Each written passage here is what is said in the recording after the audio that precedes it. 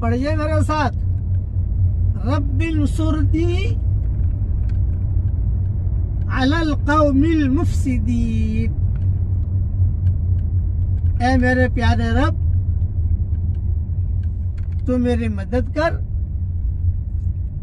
فساد مچانے والے لوگوں کے مقابلے میں۔ یہ حضرت لوت علیہ السلام نے دعا مانگی تھی۔ جب لوگ فساد بچا رہے تھے